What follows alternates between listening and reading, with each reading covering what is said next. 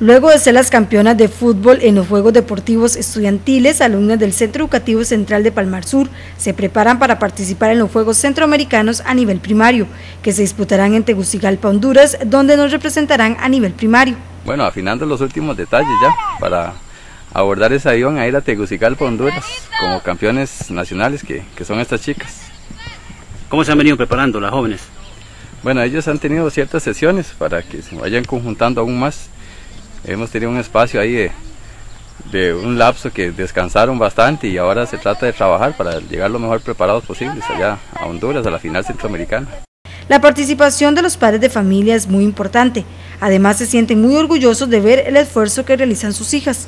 Sí, para mí es un gran privilegio y un orgullo, felicidad enorme.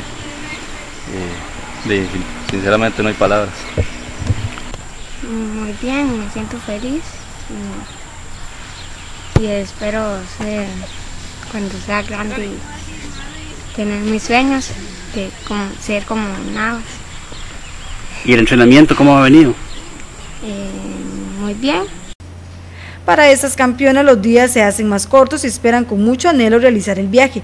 Ellas dicen que harán todo el esfuerzo para traerse ese campeonato a nuestro país. Yo trabajando ya días con, con la profesora y con el profesor Carlos y yo es poco lo que le he dicho, pero desde que está en la escuela yo le he agarrado en la escuela de Vallacero porque estuve en la escuela de Vallacero, igual que la nieta mía. Entonces ahí se han ido preparando y ahí han sacado esto que están ahorita donde están.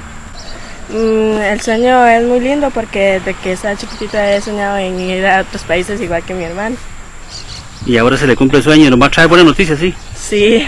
¿No permitir goles? No, vamos a ver cómo a ver si Dios quiere que hagamos eso.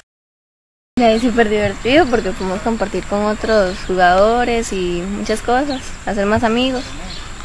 Ya, y estamos como, no sé, nerviosas, pero emocionadas, entonces va a ser una experiencia bonita porque ir a jugar a otro país es algo que ya uno cualquiera deseara y solamente nosotros tuvimos la oportunidad. Nosotros nos esforzamos para llegar hasta ahí. Los entrenamientos han estado muy duros, muy para esforzarnos bien para ir a allá a Honduras a hacer un buen papel y me siento muy feliz de ir a conocer otro país. Debe ser una experiencia muy linda ir a Juegos Centroamericanos. Y se siente muy bien de tener esa oportunidad a hacer lo que más nos gusta al exterior. Vamos a representar a Costa Rica. ¿Cuántos goles vas a meter? Muchos, ojalá. El ICOER es quien asume todos los gastos para que esas jovencitas participen en el campeonato.